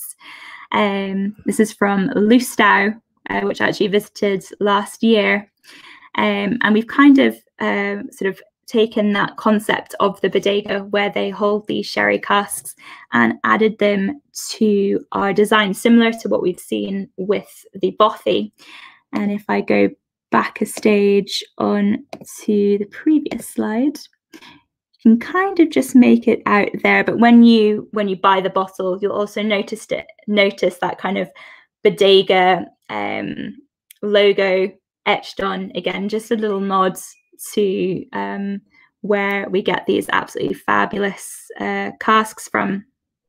Olay indeed. Um, there we go. So there we go, that lovely image of the bodega there. And if I go on to the next slides, this is where um, an example of uh, one of the casks that we'll, we'll import from um, these these uh, um, lovely sherry casks. This is from Casknolia, one of our um, lovely suppliers, who we I, I gather got um, some casks from recently, um, and these some of these lovely um, uh, casks that we that add to the the, the lovely flavors that we get um, from our sherry cask bodega.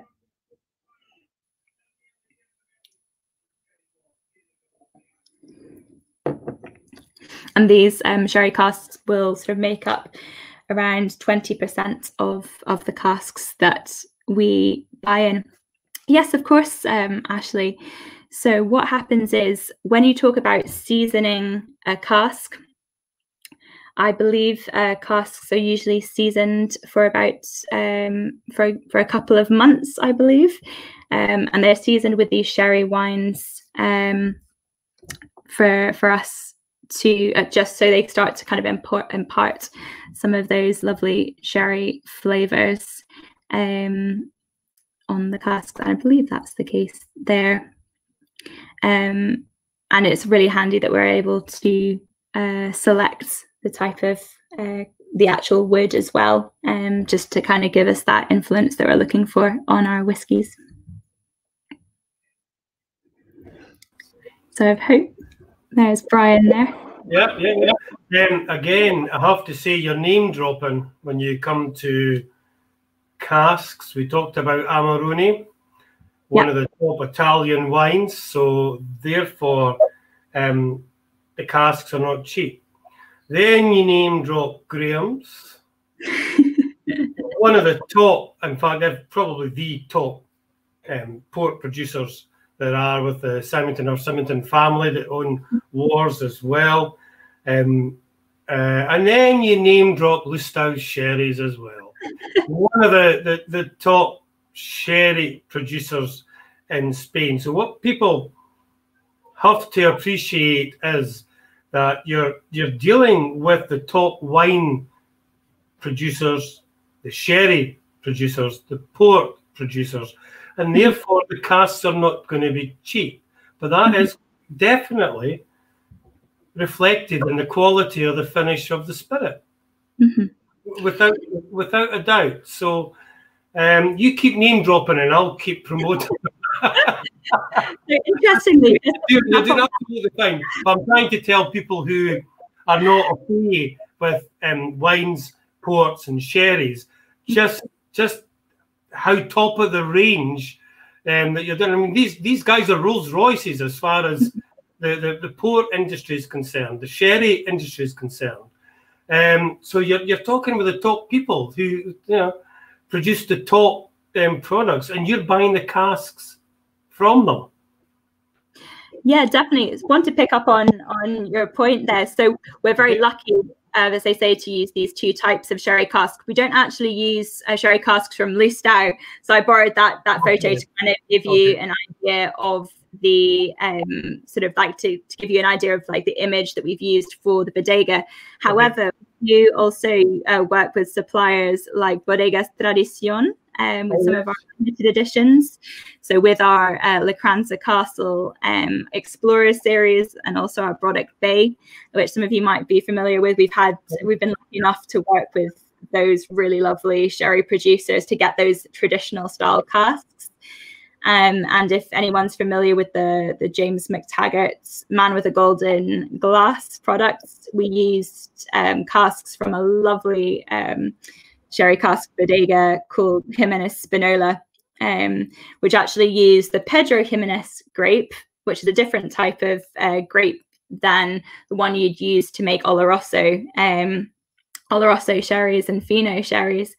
That use this PX grape, uh, they use this PX grape for making their sherry wines. So again, really special, like family, um, family company, and we get to to work with these wonderful artisan producers who really kind of mirror the stuff we want to use. Um, but again, we also use the, the finest quality from these uh, pre-seasoned sherry casks as well. But it's just interesting to see these different links and, and how they they really um, um, kind of really bring out um, not only our ethos but also bring to the table very nice quality casks for us to use.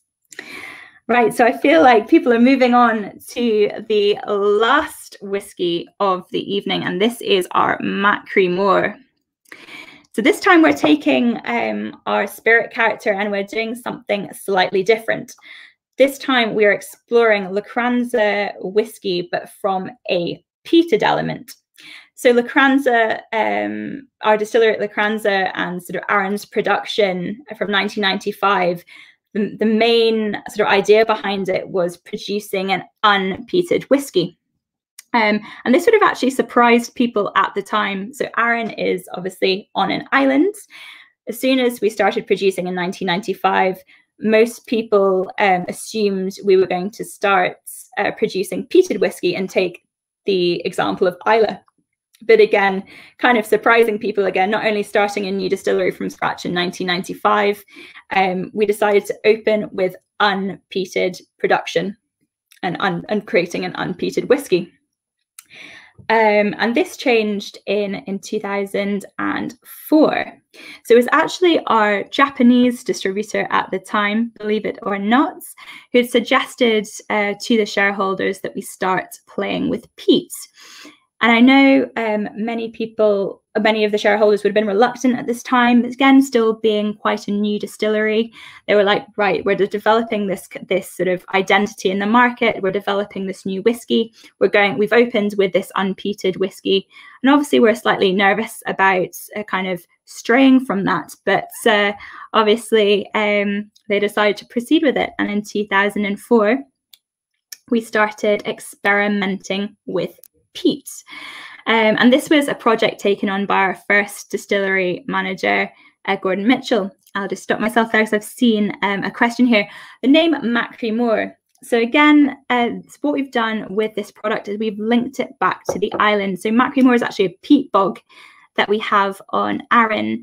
At the moment, we don't actually source our peat from Arran um, due to kind of uh, restrictions there with being able to sort of take out those uh, to remove peat from the grounds.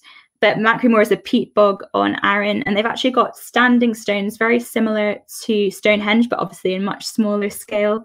Um, and this is kind of the name we've taken for this peated whiskey. I see from Hazel saying you don't usually like a peated whiskey, but you're pleasantly surprised by this. So this is a very lightly peated whiskey. It's 20 ppm, so very, very light, very delicate. And uh, Euan Mitchell, our, our um, managing director, often uh, describes it as something that kind of is almost like a little gateway between unpeated, taking you to that sort of peated, uh, to kind of help you sort of explore that kind of peated element when it comes to whiskies, because it is very, very, very delicate. Um, the Machrie is 100% um, bourbon barrel matured whiskey. It's between six and, and seven years old. And again, that sort of that Arran character with the bourbon kind of lifts that peat, um, a bit. Ashley has mentioned, yes, so we actually do use Highland peat. The peat that we use is from Tall. So you're not going to get that sort of medicinal note that you would get from sort of using um, Islay peats. And with those Islay whiskies, is a slightly different kind of uh, sort of burnt, almost like burnt wood is that kind of that kind of element that I get with that that peatiness. Um, with the Machrie it's it's 46%. We do also have another Machrie that's at cask strength if you do like a Machrie that's a little bit stronger. But I think that sort of addition and, and reduction with water just really brings out that really fresh fruitiness mixed with that peat. But it's very light and very, very subtle. It is still in terms of the like the, the production process itself the only parameter we've changed is we've experimented with that peated malt. So it is almost very like the barrel reserve but with that kind of peaty twist at the end. Again it's got that fresh fruitiness. A bit of tropical fruits kind of starting to tease in there. Um, but it's it's really interesting to see how that sort of peaty element has combined with that Arran character. Um, going back to sort of the initial stages of our, our peated production that we started to um, experiment with, this was um, basically a, a, sort of project, a project that Gordon Mitchell, our first distillery manager, really um, started to develop. And so, where Gordon Mitchell worked before joining Arran was at Cooley's distillery in Ireland. And the last uh, product that he worked on there was a product called Connemara, which is a very lightly peated Irish whiskey um, that was um, 14 ppm. So actually, the first initial um, whiskies that peated whiskies that we would have produced at Arran would be 14 ppm. However, when James came to join us, that peating level raised a notch to 20 ppm. And funny enough, 20, 25 is, is a peating level you'll find at Bowmore, where James was working um, previously before joining Arran. So again, it's interesting to to see how our distillery managers um, sort of experience with peat has kind of been brought to Arran. Yes, that's um, I've seen a um, Ian point out with the Machrie bottle, that is a, a, dog on the design of the label. So with, um, again, the concept behind our Machrie uh, products, this is kind of taking into account some of the folklore that we have on Arran. So where Machrie is that peat bog, where we have our lovely standing stones, um, there was a legend where a, a giant used to uh, chain his dog Bran to those rocks. And we've kind of incorporated that folklore onto the bottles of, of Machrie Again, just to have a little nice tie to the island.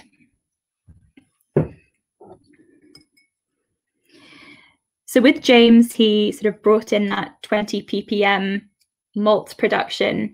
So again, we have our um, barley um, malted when it comes to us. Um, and what they'll do at the maltsters is they usually have 50 ppm barley um, and they'll add some zero ppm barley um, to make sure it's sort of reduced down to the specification we want at that 20 ppm, that really, really lightly uh, peated, um, peated barley that we use. In, in 2011, we moved up a notch again within our own uh, production at Lochranza. We started experimenting with some 50 ppm malts, um, just again to see see what the kind of effect that would have, and and just to kind of experiment a little bit. Um, I see Bob's mentioned that he prefers non-peated. It's it's definitely a, a term of preference, and I think um, it's really you do get very very different flavors there. Um, but I think the Machrie really nicely kind of gently introduces you to that that peaty side of things. Um, so yeah, in 2011 we were experimenting with 50 ppm malts. Um, and we've taken that to the next level, as you will have seen in your, your video um, during the halftime break. But also at the beginning, I'd mentioned our next adventure, which is Lagg. So this is our new distillery that we opened up last year.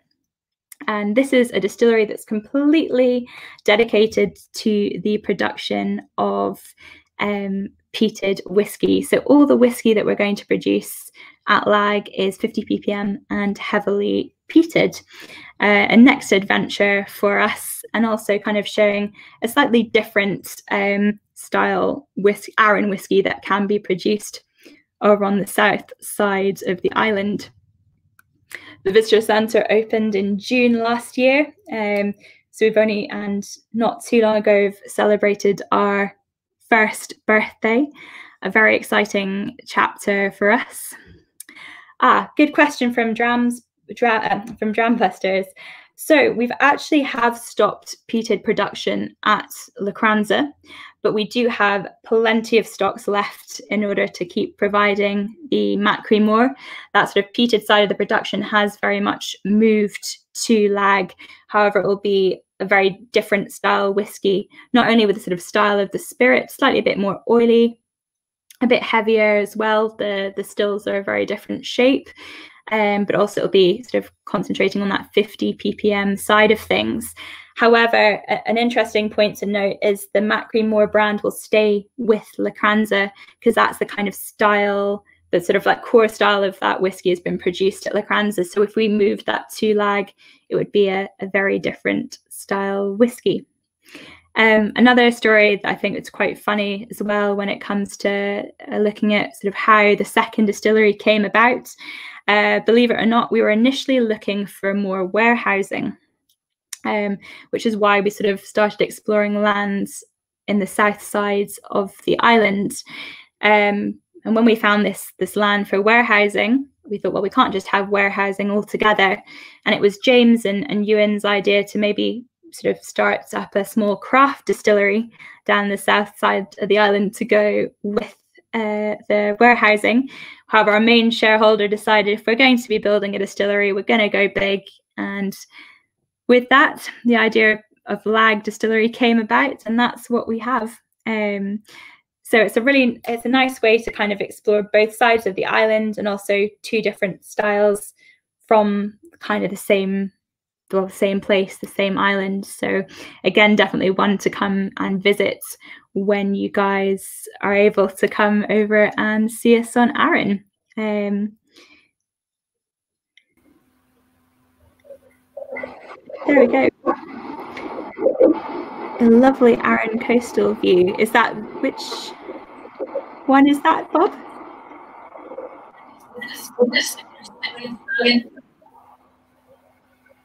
There we go. Oh, the, the coastal view, is that from the first, first or second slide? The coastal view. Uh, um, well, thank you very much, uh, Lucy. No worries at all. Um, that was a, a great, as you can see by the comments, a great range of um, whiskies. I have to repeat myself because the orders are coming in thick and fast at the moment. Um, if we're out of stock of anything, it's just because we do have no idea what we're going to sell. Don't be disappointed.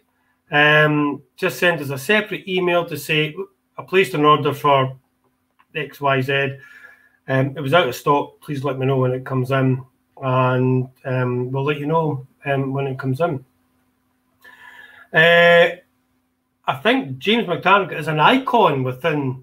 I'm sure you'll agree within the, the, the whiskey industry. He, he definitely is, but been very privileged, and so has Karen over the years to be in his company at private tastings or whatever, and especially when we brought the Drambusters over, like a 54 seater bus would leave, we, we, would, we, would land on foot. Arran would, would um, hire stagecoach to get a 54 seater bus to put us all on. We'd arrive and we'd wander about. Um, and again, Arran would do two special tastings for us, split us into two groups. And I was wandering about, and there was James just wandering about. Oh, hello, Brian. How's it going? And he was like, Your best mate. And it was like, nothing was a bother to him. He was just. Sounds like James. He's so softly spoken. He's so calm. He's like your best mate you've ever had. And he's, he's just incredibly talented, but yet just blends in with with everybody. That sounds like James. Yeah, yeah. He, he, is an icon within the whiskey industry. So, um, sorry.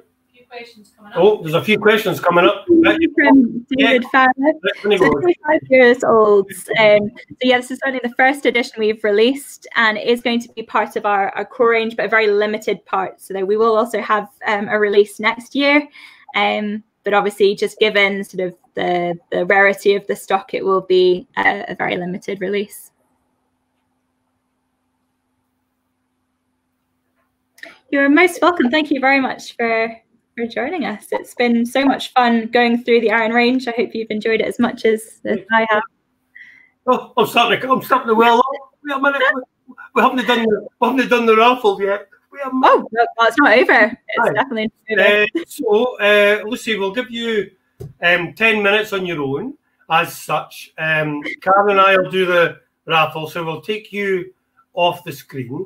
And um, it's up if, if you want to stay live as such after the tasting, we can get back together and just discuss wonderful. discuss um, how great we are.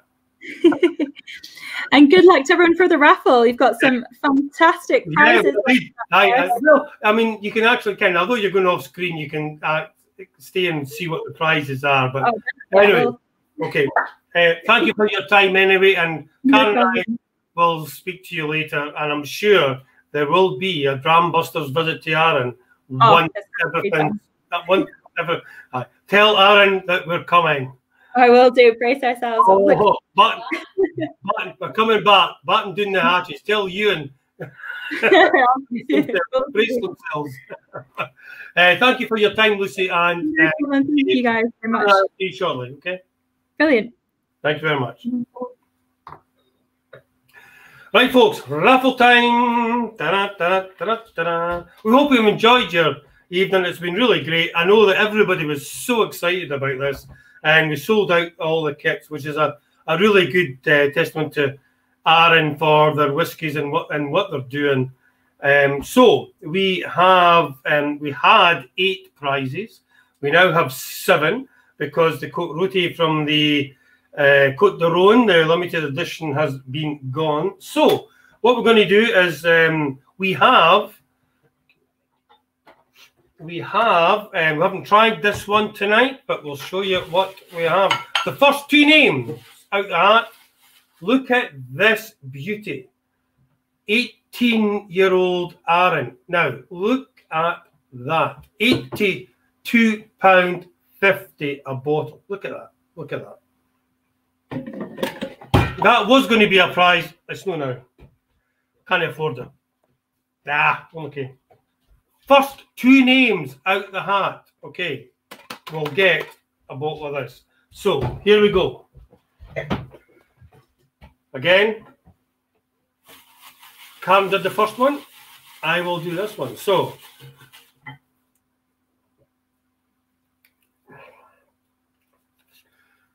Three, one, one. Right, okay, three, one, one. Let me get my facts right. Oh, P Styles. Ticket number 311 P Styles. Well done. Bam. Next one out the hat, Karen will do. Again, this is for an 18 year old.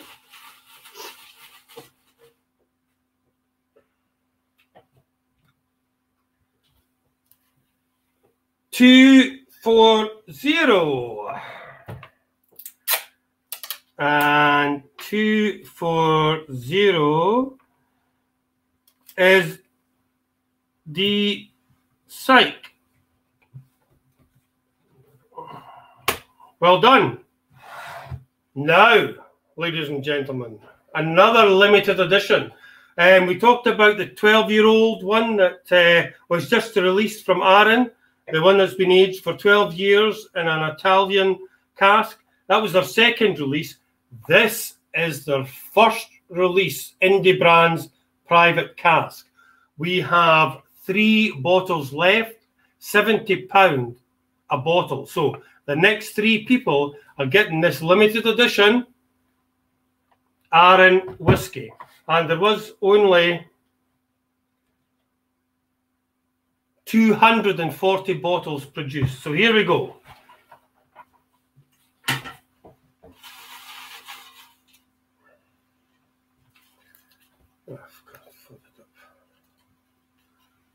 Three zero six. Three zero six. Ha! Hey, that's just the way it goes. Palm Styles again. Okay, Khan can do this one. And you, uh, as you can see, we're shuffling them.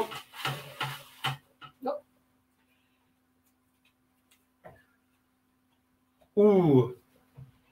One, nine, nine. Well done, Connor. One, Conor McMahon. nine, nine. Connor McMahon, yep.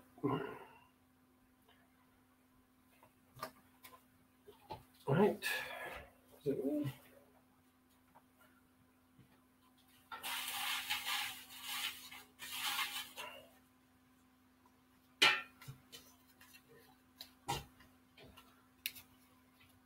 Three zero nine.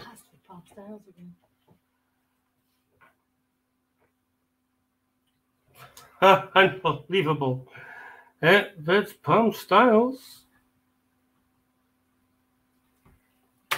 But they're all shuffled.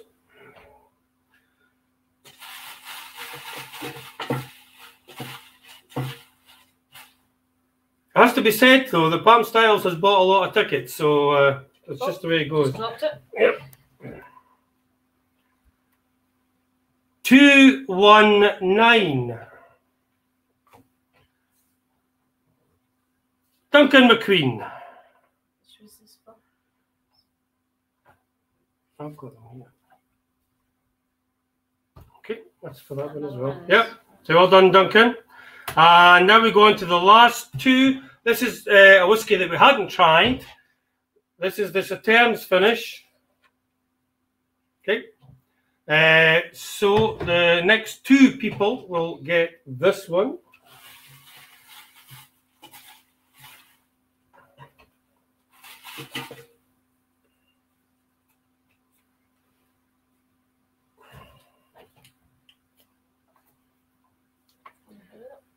Three, three, three. Willie Welsh. Willie Welsh. Well done, Willie Welsh. All the threes. And the last one.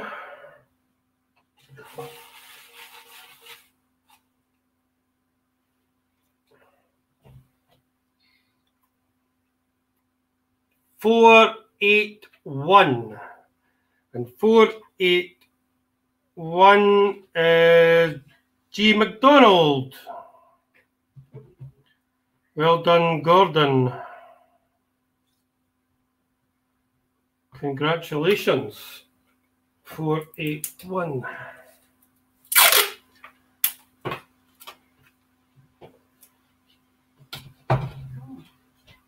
Now, we've actually raised a bit more money than uh, we thought because there's been a couple of people been buying um, raffle tickets online during it. So we do have another prize, and that'll be the barrel reserve. Okay, this is just an add-on. So the barrel reserve, because we've got more money coming in, I'll just do this. Four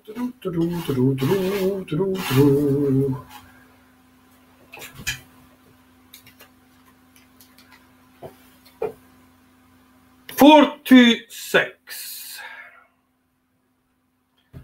And four two six is P Brimby. Well done, Paul. Just as an extra one. Because the money coming in is the money that we we pay out. So, um, thank you very much, everybody, for your participation. Uh, thank you very much for your comments and encouragement. it's been really good. Um, it's been just a bad year for everybody. We're doing our best. You guys are very, very well supporting us. We can't thank you enough. It's hard work on our behalf, but uh, everybody's getting the benefit from it. Um, and we're getting all the people to support us um, from the whiskey industry as well. We're all finding it quite hard. Um, and it's great to be on a Friday night where you can enjoy yourself, relax, have eight nice whiskies, learn about the whiskies, have a bit of fun with the raffle, um, and just have a, a, a, good time. So, thank you very much yet again for your support. Uh, next week, we've got nothing. Yahoo! Following week, we've got a gin tasting. If you haven't bought your gin kits or if you know somebody who's interested in a gin tasting, um, let them know. Contact us, order their kits. And lastly, on the 11th of December, we've got um, the Tomintoul Glencairn tasting. Um, we've uh, already sold about three, four hundred quid's worth of raffle tickets for that. There's still kits available. Um, I don't think people appreciate the fact, as I said, that we were making the kits up in advance so that when you were ordering your kits for whatever tastings you were, we were trying to deliver them or collect them at the same time. Um, so we're doing our best. Um, there will be a letter coming out to everybody, an email letter coming out at the beginning of the month about a, a special um, tasting that we're doing. It's limited to 10 people. Oops. Um, so we can wait for that one and then we'll go back on track in January and in February, and we'll start doing our rum tastings, gin tastings, and whiskey tastings again. But in January, I think we're Carl and I are going to put our feet up for two or three weeks, take a big deep breath, and catch up with what we're doing. Um, I've probably done about ten thousand of these bottles since lockdown. Um, it's been good fun. It's been good fun. Your comments have been very encouraging. Um, thank you for your support. Uh, I hope you have enjoyed your evening. I hope that you will support us and Arran for what we're doing. You have done previously. There's no reason why not with eight really good whiskies. Um, and thank you for your support, and I hope it continues. We're a wee private business. We rely on word of mouth. We, we, we do well. We think we do a good delivery service. It's free within 20 miles. We try and do it within a couple of days. Some people get it within a couple of hours. It's just your Donald Duck, um, depending on the weather. I don't know why I get my hair wet and I'm out in the van, you know. Um, but thank you for your support. Um, have a good evening, ladies and gentlemen, and thank on behalf of all the Drambusters here. And there's 150. Lucy, I will say in front of everybody, thank you for your time, your information, your presentation. It was fantastic, and I hope that reflects in the orders. So, ladies and gentlemen, enjoy your evening. Finish off your evening with a beer, a wine, whatever you want. Thank you very much on behalf of Karen and I and the staff of TB Watson's for your support. Thank you very much.